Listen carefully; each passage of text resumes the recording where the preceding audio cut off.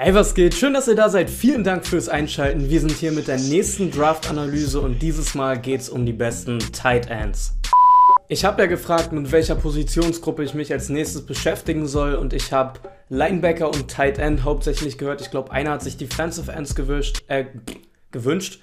Aber äh, deswegen habe ich jetzt beschlossen, ich mache erstmal die Offense. Also als nächstes werden dann vermutlich die Linemen kommen. Ich muss noch gucken, ob ich in äh, Guards und Tackles unterteile, vermutlich aber nicht, weil ganz ehrlich, das eine ziemlich unattraktive Position ist für den normalen Football-Schauer sozusagen. Deswegen werde ich da vielleicht eine etwas längere Episode machen, muss ich wirklich alles noch überlegen. Aber als nächstes die Offensive Line und dann sind wir erstmal durch mit der Offense.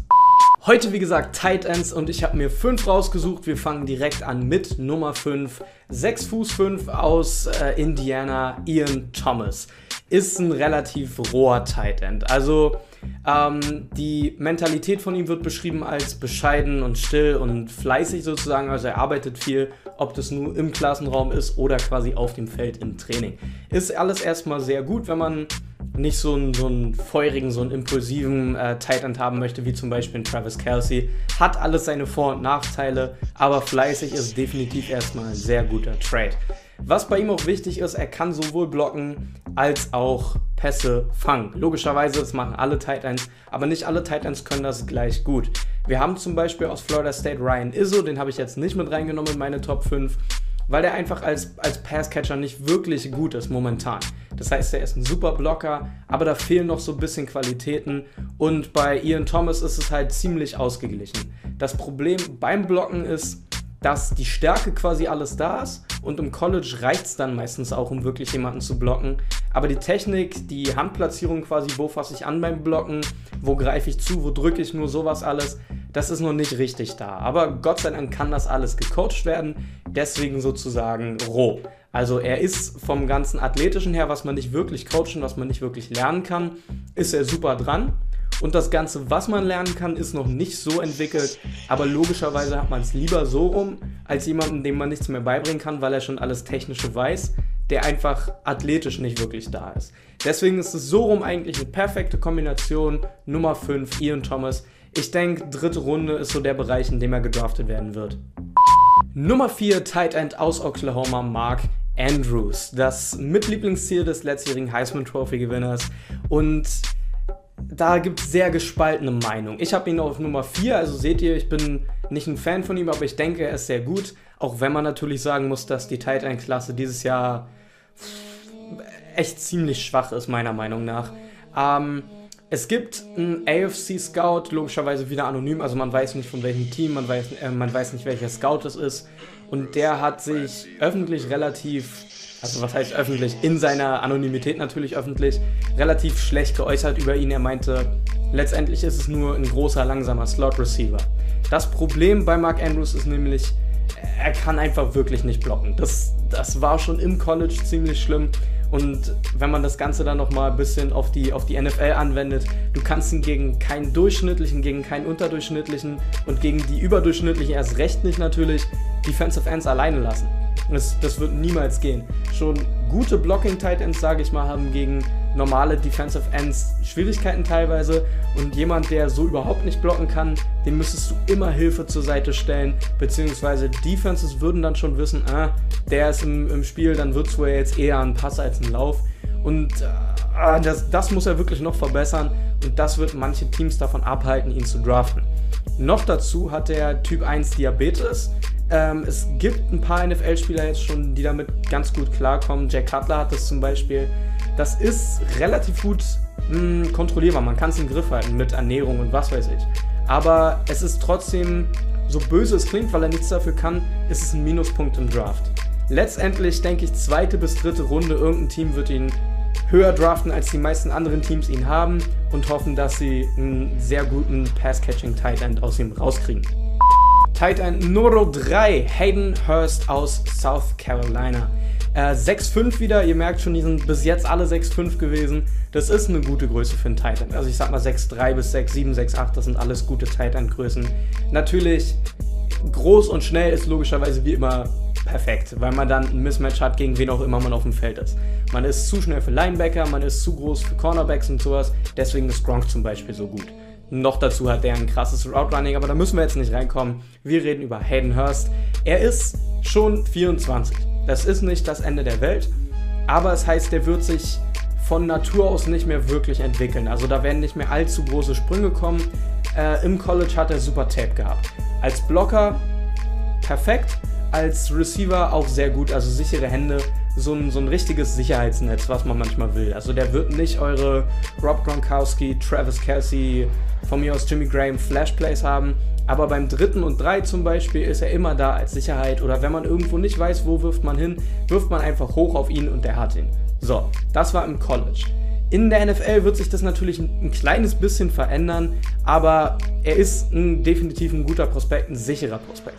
Bei zum Beispiel Ian Thomas, bei meiner Nummer 5, da ist einfach das Spektrum viel größer. Das heißt, du weißt nicht genau, was du kriegst.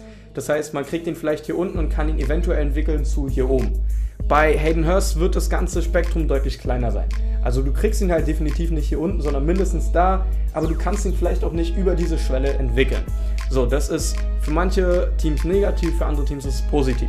Kommt immer darauf an, ein bisschen, was man haben will, ähm, in was für einer Position man ist. Also denkt man, man kann nächstes Jahr direkt in die Playoffs kommen, wenn man die Tight End Position verbessert, oder ist das eher für die Zukunft gedacht ein bisschen? So eine Aspekte spielt immer mit rein, deswegen fallen manche Teams für Hayden Hurst zum Beispiel schon raus. Letztendlich mit diesen ganzen Aspekten, also ein Sicherheitsnetz für vielleicht irgendeinen jungen Quarterback, äh, er kann gut blocken, also er kann beides gut letztendlich.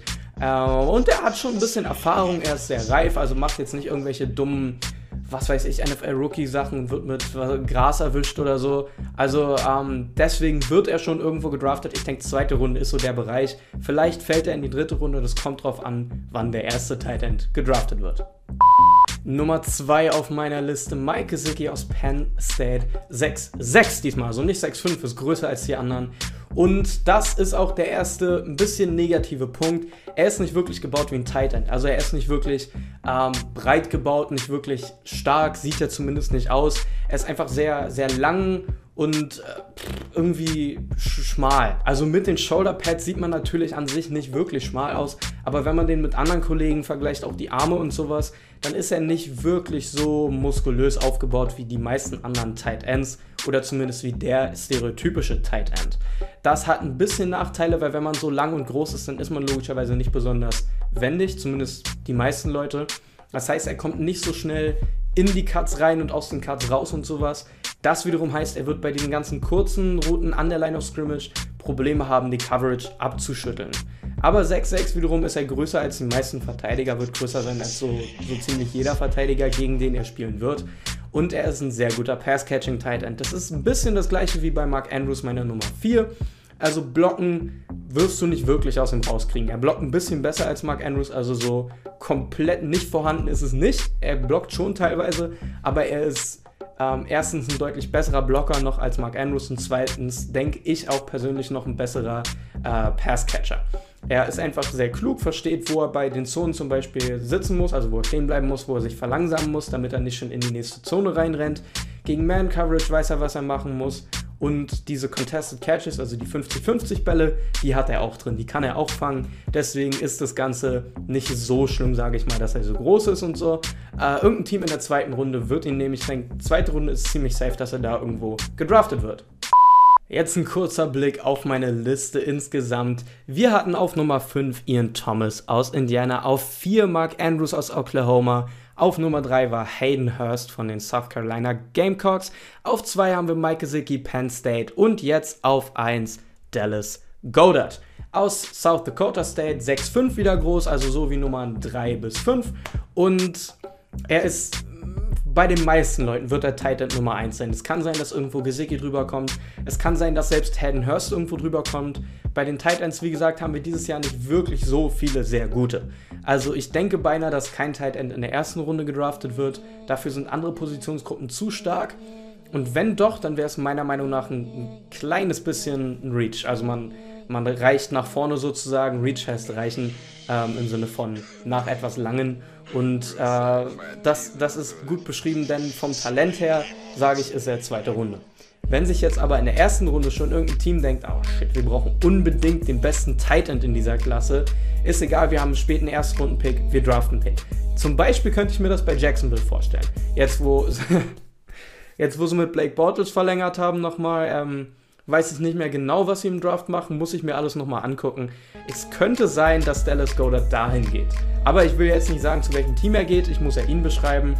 Äh, 6'5 wie gesagt und der macht absolut athletische Catches. Also so ein bisschen oder Beckham-mäßig. Natürlich nicht auf dem gleichen Level, aber da ist schon mal ganz gut hier und da der One-Handed Catch dabei. Deswegen ist er auch so ein bisschen ein Fanliebling. Der kann letztendlich kurze Bälle fangen, der kann mittlere Bälle fangen, der kann lange Bälle fangen, kann er alles machen. Er kann auch blocken. Auch da ist die Technik noch nicht so da, ist aber alles coachable. Also man kann ihm das alles beibringen. Die Athletik ist definitiv da, die ist sehr gut für einen Tight End. Viele sagen, er ist der nächste Rob Gronkowski. Ich sage ein bisschen, das ist dieser amerikanische Hype, den sie reinbringen wollen, um eine doch relativ schwache Tight End Draft Klasse aufzuwerten. Letztendlich hat er Division 1 nicht gespielt Football im College, beziehungsweise nicht richtig. Das heißt, er hat gegen schlechtere Competition gespielt als die meisten anderen. Logischerweise sieht er deswegen ein bisschen besser aus und muss da ein bisschen was von abnehmen. Äh, es kann sein, dass, dass er genauso gut ist, wie er aussah. Es kann aber auch sein, dass ihn die schlechteren Gegner quasi nur besser haben aussehen lassen, was ich ein bisschen befürchte.